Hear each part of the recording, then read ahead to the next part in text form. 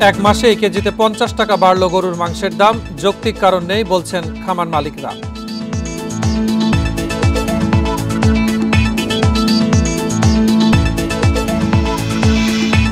Credit কার্ডের মাধ্যমে বৈদেশিক লেনদেন কমেছে সাড়ে নয় শতাংশ।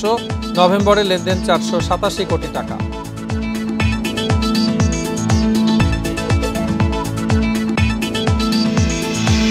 শাহ আমানত বিমানবন্দরে বিমানের সিটের নিচ থেকে সাড়ে চার কেজি স্বর্ণ জব্দ, বাজার মূল্য প্রায় চার কোটি টাকা।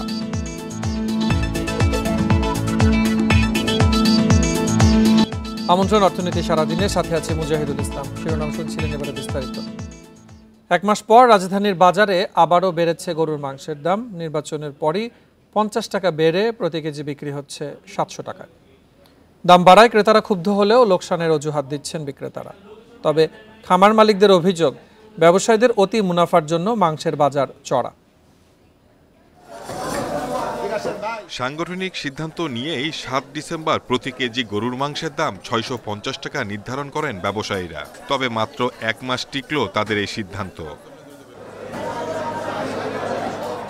সরকার কিংবা সমিতি থেকে কোনো নির্দেশনা না থাকলেও কেজিতে পঞ্চাশ টাকা বেড়েছে গরুর মাংসের দাম। সাতশো টাকার নিচে মিলছে না এক কেজি মাংস। দাম বাড়ার জন্য আগের মতোই লোকসানের অজুহাত বিক্রেতাদের। ইলেকশনের পরে দ্বিগুণ মাল চড়া হয়ে গেল। মাল হানতে গেলে বলে হাটে গৃহস্থেরা বলে আমাদের খাবার দাম অনেক চড়া আমরা সস্তা দিতে পারব না। প্রচুর লস দিছি এখন নির্বাচনের পরে পঞ্চাশ টাকা আমরা রেট বাড়ায় ধরছি তারপরও আমাদের চালান আসে না। আবারও গরুর মাংসের দাম বাড়ায় ক্ষুব্ধ ক্রেতারা। বাজার নিয়ন্ত্রণে কঠোর তদারকির দাবি তাদের। ছয়শো পঞ্চাশ টাকা করে ছিল মানে হচ্ছে আসলে ডিমান্ড সাপ্লাই তো ছয়শো পঞ্চাশ টাকাই ছিল। তো হুট করে আজকে পঞ্চাশ টাকা বেশি এটা আমার কাছে খুব প্লেজেন্ট মনে হচ্ছে না আর কি আমি আশা করি ছয়শো পঞ্চাশ টাকায় হওয়া উচিত। জিনিস আছে যেটা মানুষের না হলেই না সেই জিনিসগুলো যেন কোনোভাবে সিন্ডিকেটের দ্বারা মানে নিয়ন্ত্রিত না হয়।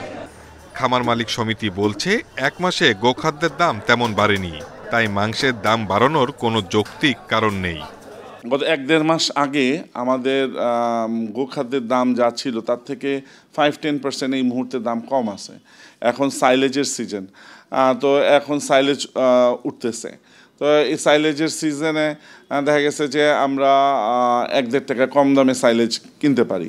সব দিক বিবেচনা করে যে এই মুহূর্তে মাংসের দাম বাড়ার কোনো কারণ নতুন করে ঘটে নাই বাংলাদেশে। ভোক্তা অধিকার সংরক্ষণ অধিদপ্তরের নির্দেশে গরুর মাংসের দাম প্রতি মাসেই সমন্বয় করার কথা ব্যবসায়ীদের। Shahid Ahmed Independent News Dhaka.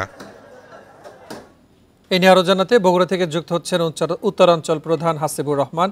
Hasibur যেমনটি আমরা জানছিলাম যে কেজিতে পঞ্চাশ টাকা করে বেড়ে গিয়েছে গরুর মাংসের দাম, উত্তরাঞ্চলের প্রতিটি জেলাতেই একই ধরনের প্রবণতা দেখা যাচ্ছে কিনা এবং হঠাৎ করেই এই কদিনের ব্যবধানে কেন আবার এই মাংসের দাম বৃদ্ধি? আসলে কি বলছেন ক্রেতা বিক্রেতা উভয় পক্ষ?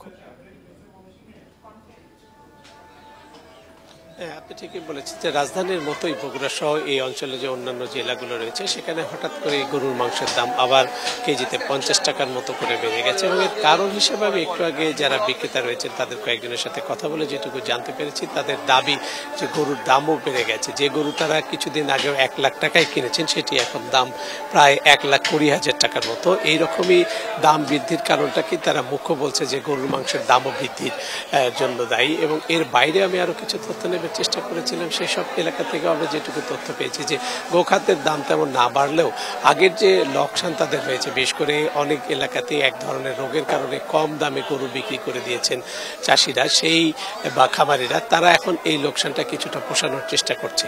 আমি এর আগে বগুড়া শহরের বাইরে একটি দোকান এলাকায় গিয়েছিলাম যেখানে গরুর মাংসের দাম মোটামুটি কিছুদিন আগেও সাড়ে ছয়শো বা ছয়শো চল্লিশে কেনা গেছে। সেখানেও আজকের দাম বেশ কিছুটা বেশি। সেখানে এক ছয়শো পাঁচশো নব্বই টাকা পর্যন্ত আমরা ছয়শো নব্বই টাকা পর্যন্ত আমরা পেয়েছি এবং এই রকম দামই এখন এই অঞ্চলে বিক্রি করা হচ্ছে। যারা মুখ চেনা ক্রেতা বা দীর্ঘদিনের ক্রেতা, তাদের ক্ষেত্রে হয়তো দশ টাকা বা পনেরো টাকা কেজিতে কম নেওয়া হচ্ছে, কিন্তু অধিকাংশ ক্ষেত্রেই আমরা যেটি দেখতে পাচ্ছি যে গরুর দাম যদি গড় হিসাব করা যায়, তাহলে এখন পর্যন্ত সাতশো টাকাতেই রয়েছে এবং এর, এইটা পনেরো দিন আগেও সাড়ে ছয়শো টাকাতে যে গরুর মাংস আমরা পেয়েছি, সেটি এখন সাতশো সাতশো দশ বা একটু কোনো কোনো এলাকায় যেখানে চর্বি কম থাকে, হাড় আরও কম থাকে।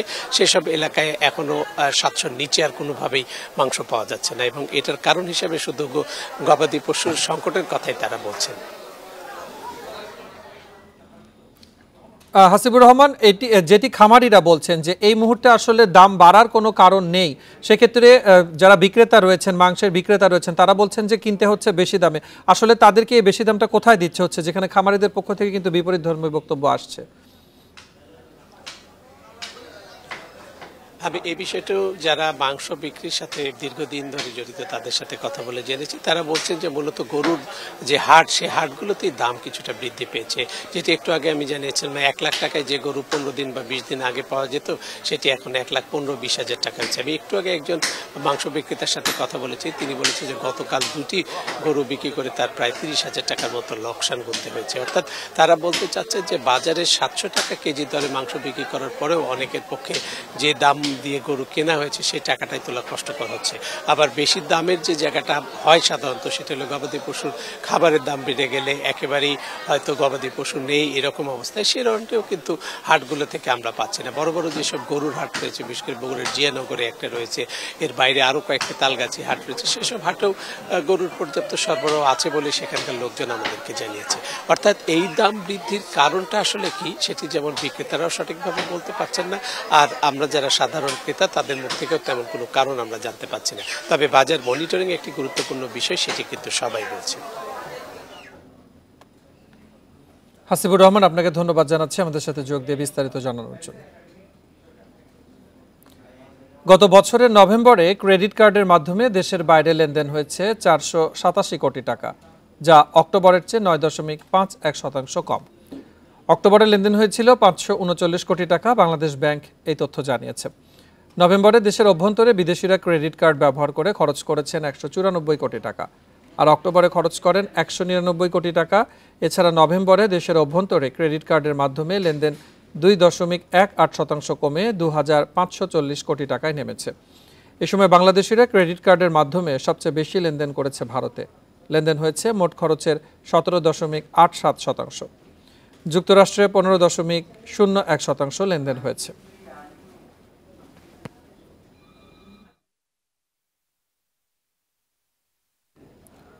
বিদায়ী বছরের অক্টোবর মাসে ঘরে বসে টাকা লেনদেনের সংখ্যা ও পরিমাণ বেড়েছে। এ সময় ইন্টারনেট ব্যাংকিং ও অ্যাপস ব্যবহার করে লেনদেন প্রায় উনআশি হাজার কোটি টাকায় উন্নীত হয়েছে। এর আগে কোনো একক মাসে এত লেনদেন হয়নি। বাংলাদেশ ব্যাংকের তথ্য মতে, এপ্রিল থেকে সেপ্টেম্বর সময়ে প্রতি মাসের গড় লেনদেন ছিল পঁয়তাল্লিশ হাজার কোটি টাকা।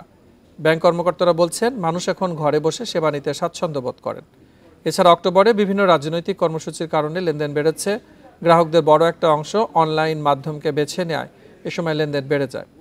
বাংলাদেশ ব্যাংকের তথ্য অনুযায়ী, গত বছরের জানুয়ারিতে ইন্টারনেট ব্যাংকিং ও মোবাইল অ্যাপসে গ্রাহক ছিলেন চৌষট্টি লাখ বত্রিশ হাজার দুইশো একানব্বই জন। ওই মাসে লেনদেন হয় তেত্রিশ হাজার নয়শো পঁচিশ কোটি টাকা। চট্টগ্রামে শাহ আমানত আন্তর্জাতিক বিমানবন্দরে শারজা থেকে আসা বাংলাদেশ বিমানের একটি ফ্লাইট থেকে সাড়ে চার কেজি স্বর্ণালঙ্কার উদ্ধার করা হয়েছে। যার বাজার মূল্য সাড়ে চার কোটি টাকা। চট্টগ্রাম বিমানবন্দরের পরিচালক তসলিম আহমেদ জানিয়েছেন, সকাল আটটা চল্লিশ মিনিটে শারজা থেকে আসা বাংলাদেশ বিমানের বিজি ওয়ান ফাইভ টু ফ্লাইটে তল্লাশি চালান শুল্ক গোয়েন্দারা। পরে একটি সিটের নিচ থেকে স্বর্ণগুলো উদ্ধার করা হয়। নিয়ম অনুযায়ী সেগুলো জমা দেওয়া হবে ট্রেজারি অফিসে। এই ঘটনায় কোনো গ্রেফতার নেই।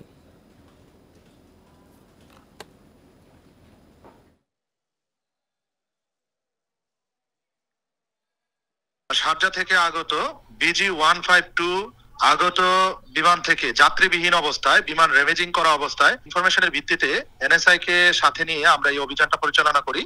এই অভিযানে আমরা যেটা পেয়েছি, চারটি সিটের নিচে যে লাইফ জ্যাকেট আছে লাইফ জ্যাকেটের ভিতরে মরানো অবস্থায় স্বর্ণ অলঙ্কারগুলা ছিল স্বর্ণ অলঙ্কারগুলোর ওজন টোটাল সাড়ে চার কেজি।